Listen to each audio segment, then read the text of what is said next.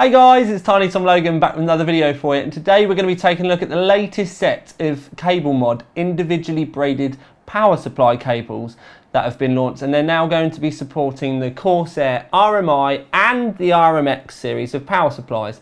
Now there's been a lot of questions on the forums about uh, why the old uh, Corsair cables didn't fit and I'm going to give you a bit of a kind of education and explain to you why but then I'm also going to show you how uh, Cable Mod have done something slightly different with theirs compared to the standard Corsair cables. Now I can say, uh, and it's not very often that this happens because normally I'm kind of uh, bound shut, but I've actually been uh, working with them on the cables for this. Uh, so that's another reason why I can show you some uh, alpha kits or the beta kits that we add out. And I can also explain to you uh, about the, the differences with the cables.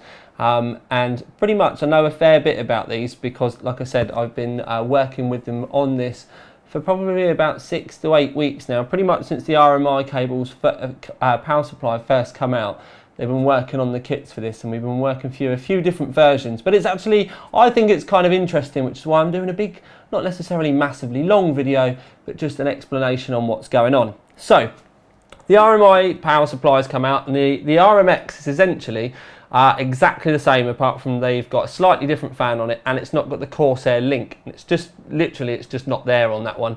Otherwise they're exactly the same power supply. Now you'll be wondering to yourself why can't we use the old 24 pin because the 24 pin is the different one and that's because rather than uh, on the uh, end that you would put into the power supply, rather than it having 24 pins as the old RMs did, and all the old Corsair power supplies like the AX series with the AX 1500i, AX 1200i, uh, the RM series, they had a 24 pin. Even though it was split into two, it was a total of 24 pins. With the uh, RMI and the RMX, this is 28 pins. There is actually extra pins in there. Now there is uh, there is monitoring cables in there, but there is a big difference at the other end of the 24 pin. Now you may have seen uh, if you've bought one of these or you've looked at photos that there is a big, big chunk of heat shrink at the end of the uh, cable. Now, uh, if you were to be a little bit naughty, like I have been, and uh, spread this open, you'll see hidden in there are some capacitors. Now this isn't any big secret, this isn't some Volkswagen style cover up. These, this is literally just to help with the uh, ripple suppression uh, and uh, many other brands have been doing this for years and Corsair got to the point where they take taken a lot of the technology inside of the power supply and a kind of purist kind of route to a level where they were like, everybody else is just slamming uh, caps on the ends now. So there's no reason why we shouldn't do it.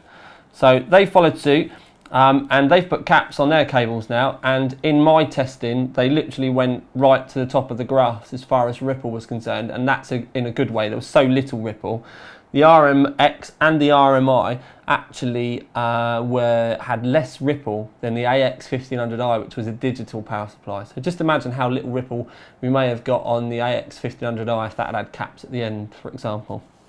But anyway, so they've got these caps on the end, but this posed a problem for the boys at Cable Mod because uh, if we they'd have put um, uh, caps at the end of their cables, it would have been incredibly, incredibly visible. So, bringing on the first set of cables that I got through, uh, if, we, if they'd have put the caps up here, they would have been very, very visible. So what we actually did was move them, because like I said, I've been uh, helping them dev these to make them look nicer. We've moved them 30 centimetres away from the power supply. So that means if they're 30 centimetres away from the power supply on your 24 pin, your 8 pin and your PCI Express, the capacitors are going to be hidden behind the motherboard tray. Assuming you're one of the majority of people that are going to have your um, cables round the back, not massively on display. If, you, uh, if you're one of the people that have got uh, PCI Express cables is going to be the main one. If you're one of the people that have got PCI Express cables massively on display, you can use the older ones without the capacitors just means that you've got slightly more uh, ripple going to be going through. It really depends on uh, wattage and how much power you're, you're, going to be pulling on them. but there is a, a, you know there is going to be a little bit more ripple there. It was fine on the old RMs, so it's not like it's uh, a, a crazy level or anything like that. But essentially, what we did is we moved the caps behind the motherboard tray. Gets it out of the way, keeps it all nice and tidy. Also means when you've got your 24 pin in your case, for example, if you were going to have them on uh, with like um, uh, cable combs and stuff like that, helps keep everything incredibly tidy. Uh, and then, like I said, it's just all missing. But if we, when we have a close look at these cables, these were the, the very first ones that came through, the, the heat shrink on the ends wasn't that great, I didn't think. So one of the things I suggested that CableMod did was have a second set of uh, heat shrink to tidy up the ends. Now, the um, I've got a set to show you. Now, the problem with this, this colour that I've got to show you is they're red and white, and there's only two red and white kits that have been launched, by, well, that, that have ever been let, sent by CableMod, and I've got both of them here because they're, they're, they're my colours.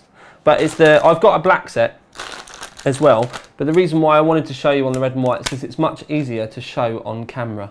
So we can sh show you how much tidier the second set, or the, the most recent set I should say, and this is how they're going to be getting sent out to you guys as well. Uh, just, just how tidy they are compared to the other ones. You've got a much nicer closed off ends and it all does look kind of nice. The heat shrink is all nice and tight around the capacitor. You can see it there. Now, obviously there is heat shrink visible and it's the first time with cable mod cables that it, there ever has been because it doesn't get used on any of the other cables because of the way that they're sealed and the way that the, the braid is so small. Um, so it's, it, it's a first with the cable mod stuff to actually have uh, the heat shrink visible but it was either that or you would have had um, uh, you, you'd be able to notice the ripple difference. So just to kind of put a ballpark in for you, by moving the um, capacitors halfway down the cables nearest it, you're probably going to get, in my testing, about 2 millivolts more ripple. That's how much difference just moving it makes a difference.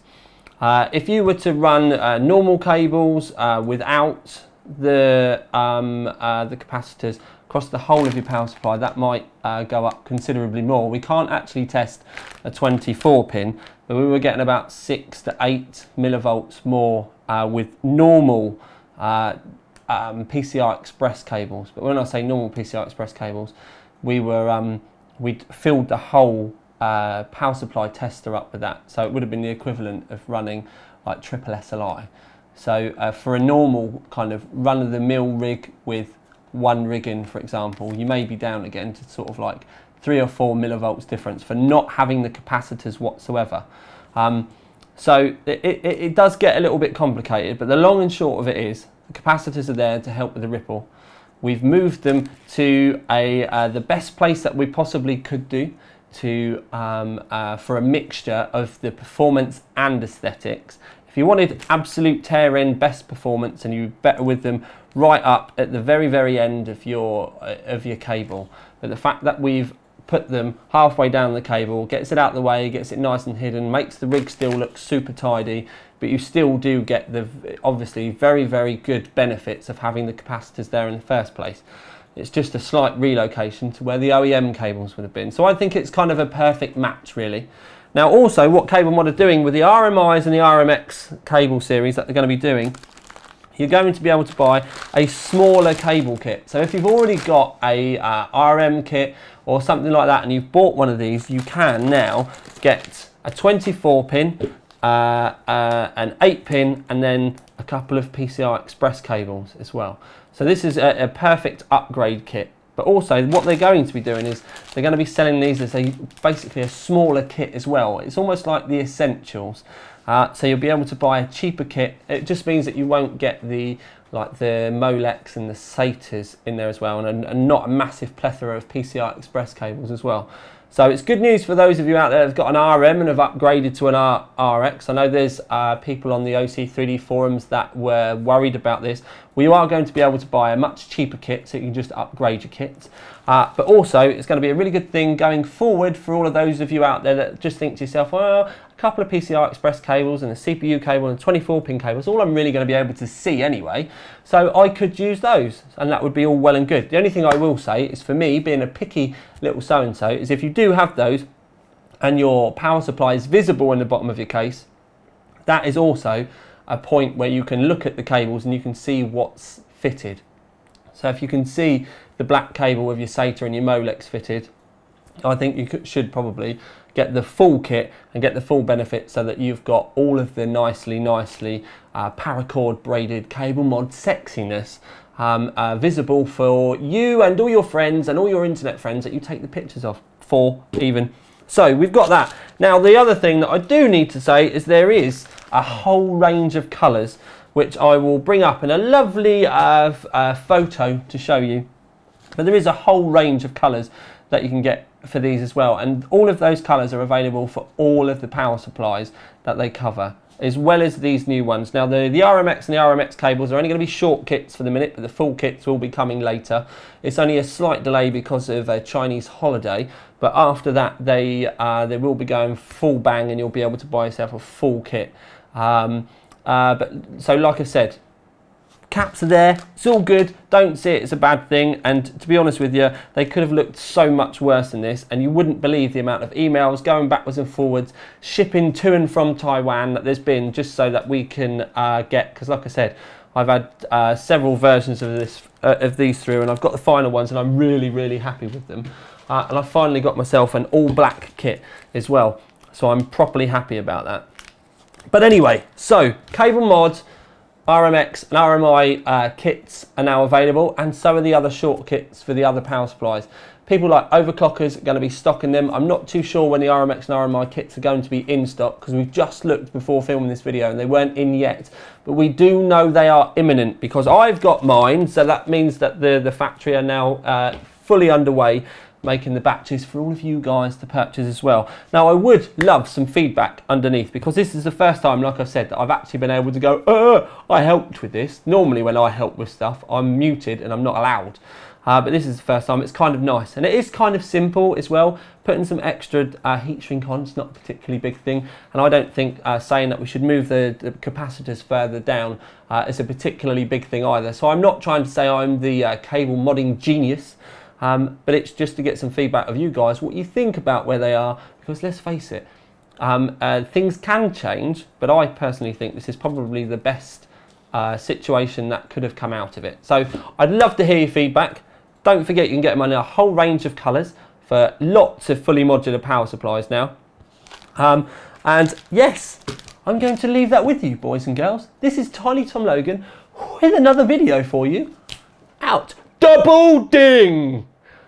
But I didn't do a ding, did I? Ding, ding, ding, ding, ding, ding, ding, ding, ding, ding, ding, ding. Ding. Yeah!